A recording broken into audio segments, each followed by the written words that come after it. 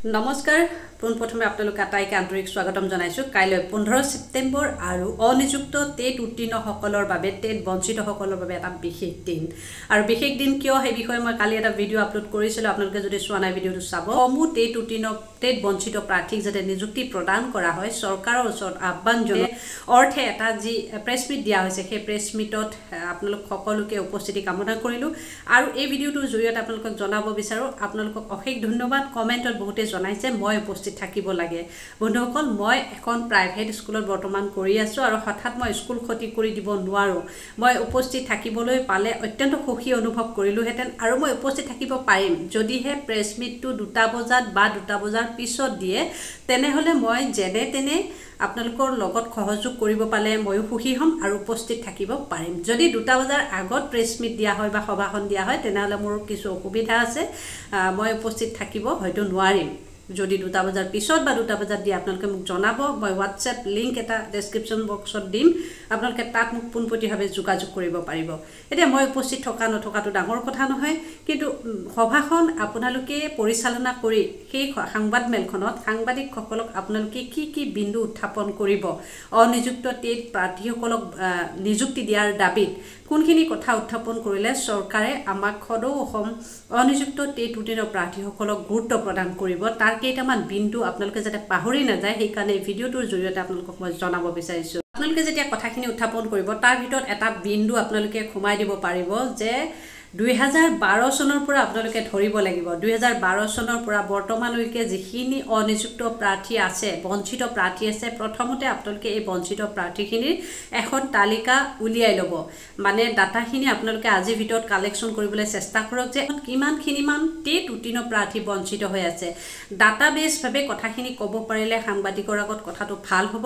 সেইবাবে কৈছোঁ আপোনালোকে ডাটা এটা উলিয়াই ল'ব। আৰু দুহেজাৰ বাৰ চনৰ পৰা যিখিনি অনিযুক্ত প্ৰাৰ্থী আছে বিশেষকৈ যিখিনিৰ বয়স আছে বয়স থকা প্ৰাৰ্থীখিনিক যিকোনো প্ৰকাৰে যাতে অসম চৰকাৰে নিযুক্তিৰ ক্ষেত্ৰত এটা গুৰুত্ব প্ৰদান কৰি তেওঁলোকৰ পৰিয়ালক সকাহ দিয়ে। মই বয়স যোৱাখিনিক মানে হেৰেচ কৰিব বিচৰা নাই নিৰাশা কৰিব বিচৰা নাই। আপোনালোকে পাৰিলে উত্থাপন কৰিব। বয়স যি দুই চাৰি মাহ বাঢ়ি গৈছে তেওঁলোকৰ ক্ষেত্ৰতো যাতে এটা বিশেষ ব্যৱস্থা চৰকাৰে কৰে বা কৰিলে তেওঁলোক যাতে লাভান্বিত হ'ব পাৰে এই কথাটো উত্থাপন কৰিব পাৰিব।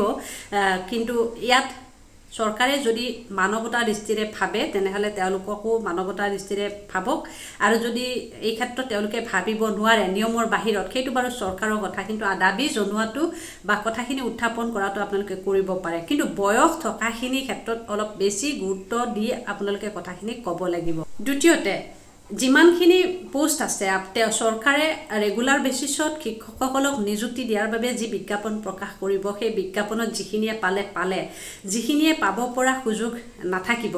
মানে ৰেগুলাৰ বেচিছত তেওঁলোকৰ বাবে পথ তেনেকৈ খালী নাথাকিব। তেওঁলোকৰ বাবে যিখিনি ৰৈ যাব ৰৈ যোৱা প্ৰাৰ্থীখিনিৰ কাৰণে যাতে অসম চৰকাৰে বিশেষ কিছুমান ব্যৱস্থা যেনে কিছুমান আঁচনি থাকে দুহেজাৰ সোতৰ চনত ষ্টেট পুলত নিযুক্তি দিছিল। ষ্টেট পুলৰ নিচিনা কিছুমান আঁচনিৰ জৰিয়তে হ'লেও যাতে সকলো টেট বঞ্চিতকে এটা চাকৰি দিয়াৰ ব্যৱস্থা অসম চৰকাৰে কৰে এই ক্ষেত্ৰত আপোনালোকে দ্বিতীয় পইণ্ট হিচাপে দাবী জনাব পাৰে। তৃতীয়তে যিখিনিৰ বয়স যাওঁ যাওঁ মানে কাৰোবাৰ দুমাহ তিনিমাহ চাৰিমাহ একমাহ এনেকুৱা হৈ আছে। কাৰণ দুহেজাৰ বাৰ চনত টেট পাছ কৰা বহুতৰে বয়স এতিয়া যাওঁ যাওঁ। বহুতৰে গৈছে বাৰু কিন্তু যিখিনি আছে কাৰোবাৰ হয়তো দুমাহ এমাহ কিবা আছে এই দুমাহ এমাহ বয়স থকা প্ৰাৰ্থীখিনিক পোন প্ৰথমতে যাতে এটা গুৰুত্ব প্ৰদান কৰি অসম চৰকাৰে সুযোগ প্ৰদান কৰে যাতে তেওঁলোকে এই দুমাহ এমাহ বয়সৰ ভিতৰতে চাকৰিটো যিকোনো প্ৰকাৰে ল'ব পাৰে। যিকোনো আঁচনিৰ অধীনত হ'লেও ফিক্স পে' দি হ'লেও এই প্ৰাৰ্থীখিনিক যাতে নিযুক্তিৰ বাবে তেওঁলোকৰ মূৰটো সুমুৱাই দিয়াৰ ব্যৱস্থা কৰে। অসম চৰকাৰে আপোনালোকে কালি সাংবাদিকৰ জৰিয়তে এইটো এটা বিন্দু উত্থাপন কৰিব পাৰে। বাৰ চনৰ পৰা এতিয়ালৈকে যিমানখিনি অনুযুক্ত হৈ আছে তেওঁলোকৰ শৈক্ষিক যিখিনি অৰ্হতা আৰু যোগ্যতা অৰ্হতা আৰু যোগ্যতা চাই অসম চৰকাৰে নিযুক্তি দিয়ক। আমি এইটো দাবী কৰিবলৈ কোৱা নাই যে অৰ্হতা আৰু যোগ্যতা নথকাকৈ সকলোকে নিযুক্তি দিব লাগে। যিখিনিৰ অৰ্হতা আৰু যোগ্যতা দুয়োটাই আছে শৈক্ষিক যিখিনি অৰ্হতা লাগে সেইখিনি আছে বা শিক্ষক হ'ব পৰা যিখিনি সমল এই গোটেইখিনি বস্তু যাৰ আছে তেওঁলোক প্ৰত্যেকেই যাতে নিযুক্তি পায় এই ক্ষেত্ৰত চৰকাৰে বিশেষভাৱে ব্যৱস্থা গ্ৰহণ কৰিব লাগে আৰু যাৰ জৰিয়তে অসমত যাতে টেট উত্তীৰ্ণ হৈও যাতে নিবনুৱা হৈ থকা বুলি কোনেও ক'ব নোৱাৰে এই ক্ষেত্ৰত চৰকাৰে এটা বিশেষ ব্যৱস্থা গ্ৰহণ কৰি সকলোকে নিযুক্তি দিয়াৰ দাবী আপোনালোকে কৰিব লাগে। আৰু কেইটামান আপোনালোকে বিন্দু উত্থাপন কৰিব। এই যি বিজ্ঞাপন দিব বা চৰকাৰে যি আঁচনিৰ জৰিয়তে হ'লেও এই শিক্ষকসকলক যদি নিযুক্তি দিয়াৰ ব্যৱস্থা কৰে পৰৱৰ্তী পৰ্যায়ত যাতে কৰ্মৰত শিক্ষকে তাত এপ্লাই কৰিব নোৱাৰে এইটো যাতে নিয়ম গাইডলাইন হিচাপে পৰৱৰ্তী এডভাৰটাইজমেণ্টত প্ৰকাশ পায়। আৰু দ্বিতীয় কথা আমি জানিব পৰা অনুসৰি এগৰাকী ছায়েন্স টিচাৰে আৰ্টছতো এপ্লাই কৰে আৰু ছায়েন্সতো এপ্লাই কৰে। দুটা মাধ্যমত এপ্লাই কৰাৰ বিনিময়ত আৰ্টছৰ কেণ্ডিডেটখিনিয়ে অকণমান দুই এক নম্বৰ কিবা কম থকাৰ বিনিময়ত পিছ পৰি যায়। গতিকে কিছুমান নীতি নিয়ম গাইডলাইন বান্ধি যাতে পৰৱৰ্তী সময়ত চৰকাৰে এডভাৰটাইজমেণ্ট প্ৰকাশ কৰে আৰু সেই এডভাৰটাইজমেণ্ট গাইডলাইন অনুযায়ী সকলোখিনি টেট উত্তীৰ্ণ প্ৰাৰ্থীয়ে যাতে চাকৰি এটাকৈ পাব পাৰে গাইডলাইনৰ ভিতৰত থাকি এই কথাটো বিশেষভাৱে কৰজোৰে প্ৰাৰ্থনা কৰি চৰকাৰলৈ আহ্বান জনাব লাগিব। পৰৱৰ্তী বিজ্ঞাপনত যিখিনি নীতি নিয়ম যিখিনি গাইডলাইন অতি প্ৰয়োজনীয় সেই কথাখিনি আপোনালোকে খুব সুন্দৰকৈ তন্ন তন্নকৈ বিশ্লেষণ কৰিব। বন্ধুসকল হঠাৎ মোৰ মনলৈ অহা বিন্দুকেইটা আপোনালোকক জনালোঁ। আপোনালোকে ইয়াৰ লগত সংযোগ কৰিব আৰু কি কি পাৰে। আৰু বিশেষকৈ Hindi post P W D post এইখিনি ক্ষেত্ৰত পাৰিলে নিজৰ ভাষাৰে ইয়াতে সোমোৱাই দিব।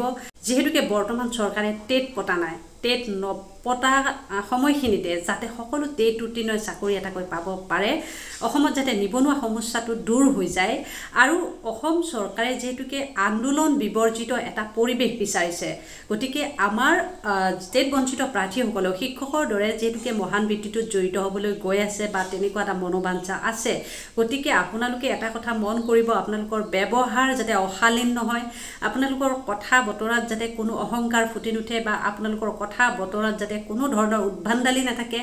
যিমান পাৰে অনুনয় বিনয় কৰি আপোনালোকে কথাখিনি ক'ব আৰু আন্দোলনৰ নিচিনা শব্দ আপোনালোকে যাতে প্ৰয়োগ নকৰে বা পৰৱৰ্তী পৰ্যায়ত জংগী আন্দোলন কৰা হ'ব অমুক কৰা হ'ব তমুক কৰা হ'ব এইবিলাক কথা যাতে আপোনালোকে প্ৰকাশ নকৰে। কাৰণ এইবোৰ বস্তু চৰকাৰে বেয়া পায়। শিক্ষামন্ত্ৰী মুখ্যমন্ত্ৰীয়ে বাৰে বাৰে কৈছে আন্দোলন বিবৰ্জিত এটা পৰিৱেশ লাগে আৰু আমিও আন্দোলন বিবৰ্জিত এটা পৰিৱেশ বিচাৰিয়ে অনুনয় বিনিময় কৰিব আহিছোঁ সাংবাদিকৰ জৰিয়তে। এনেকৈ আপোনালোকে কথাখিনি জনাব যাতে শিক্ষামন্ত্ৰী মুখ্যমন্ত্ৰীৰ দয়া উপজে এই প্ৰাৰ্থীখিনিৰ ওপৰত বা মানৱতাৰ যি শিষ্টাচাৰ যি মানে ব্যৱহাৰৰ উমান এটা পায় শিক্ষক হোৱাৰ যোগ্যতা যাতে উমান পাব পাৰে। এনেকৈ আপোনালোকে যিমান পাৰে অনুনয় বিনয় কৰি শালীনতা থকা শব্দৰে বাক্যৰে আপোনালোকে কথাখিনি ক'বলৈ চেষ্টা কৰিব।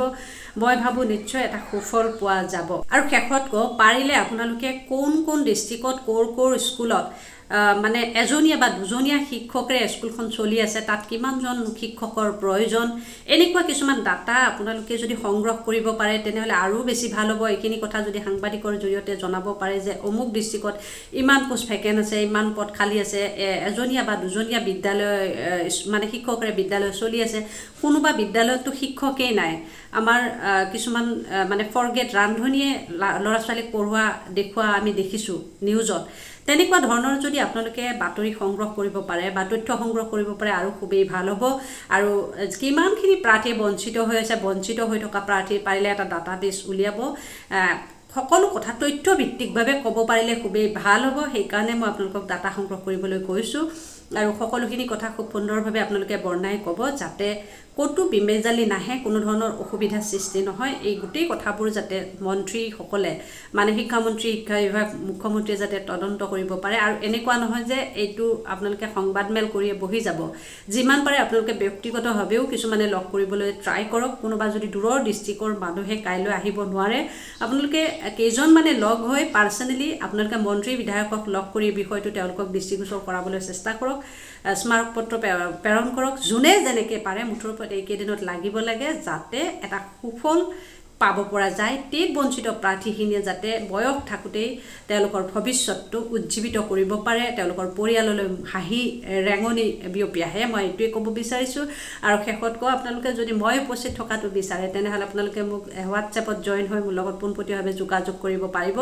মই দুটা বজাৰ পিছত আপোনালোকক লগ দিব পাৰিম বা প্ৰেছ মিটত উপস্থিত থাকিব পাৰিম। তাৰ আগত হ'লে মোৰ কিছু অসুবিধা হ'ব। এতিয়া মই থাকিলেও নাথাকিলেও প্ৰব্লেম নাই। আপোনালোকে ধুনীয়াকৈ চলাই কথাখিনি ক'ব পাৰিব। এইটোৱে মই আপোনালোকৰ ওচৰত অনুৰোধ জনালোঁ।